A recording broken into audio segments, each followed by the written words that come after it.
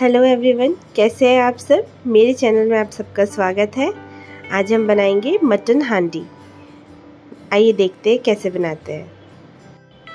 सबसे पहले गरम मसाले ड्राई रोस्ट कर लेते हैं। लौंग, इलायची, दालचीनी, सूखी मिर्च, तेज पत्ता, जीरा, सौफ, मेथी, सारे गरम मसालों को एक साथ हम ड्राई रोस्ट कर लेंगे।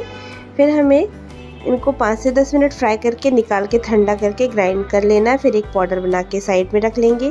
फिर मटन में मिलाएँगे। गार्लिक जिंजर एक प्याज का पेस्ट नमक स्वाद अनुसार शुगर लाल मिर्च पाउडर, धनिया पाउडर, हल्दी पाउडर, बारीक कटे हुए प्याज और सरसों का तेल। इन सभी चीज़ों को अच्छे से मिक्स कर लेते हैं। मैरिनेट करके इसे हम आधे घंटे छोड़ देंगे कवर करके। तब तक हांडी में हम गरम कर लेंगे हांडी को और उसमें डालेंगे सरसों का तेल। ये मटन मैं सरसों के तेल में ही पूरा बनाऊँगी। तेल थोड़ा सा ज़्यादा रखेंगे। फिर इसमें हम डालेंगे दो टुकड़ों में कटे हुए चार आलू। आलू को हम अच्छे से फ्राई करके निकाल लेंगे। पाँच से दस मिनट आलू को फ्राई कर लेंगे। फिर इसे हम साइड में रख लेंगे। बंगाली स्टाइल में ये करी है तो बंगाली स्टाइल में हम आलू का यूज़ करते हैं। आलू को फ्राई कर लेंगे अच्छे से। आलू ऑलमोस्ट फ्राई हो गए हैं। अब हम इन्हें निकाल लेते प्लेट में। निकाल के साइड में रख देंगे।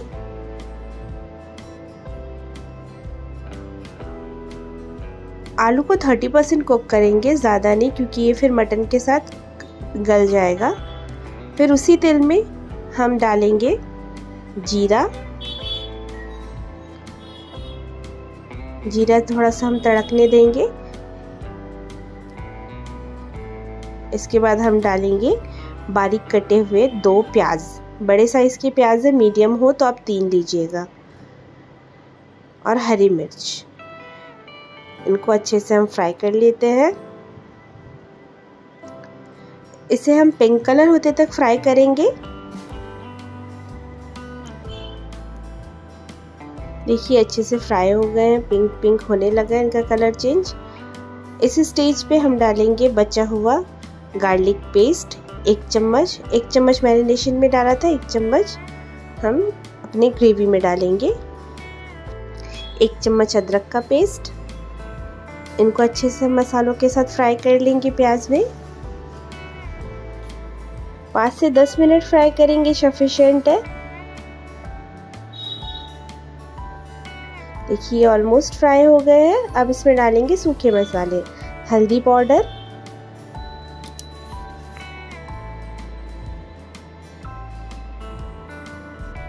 धनिया पाउडर। और मिर्च नहीं डाल रही मैं अभी, क्योंकि मिर्च हमने ऑलरेडी मैरिनेशन में डाला था। पर आप ज़्यादा खाते हो तो आप थोड़ा और डाल सकते हैं। हम डालेंगे कश्मीरी लाल मिर्च का पाउडर, जिससे कलर अच्छा आए मटन में। फिर इन्हें भी हम अच्छे से फ्राई कर लेंगे सारे मसाले। जब सारे मसाले अच्छे से फ्राई हो जाएँगे, इनकी खुशबू आने लगेगी, तब हम इसमें डालेंगे अपने मैरिनेट किए हुए मटन। फिर मटन को इसमें हम पाँच से दस मिनट फ्राई कर लेंगे। उसके बाद हम डालेंगे दही।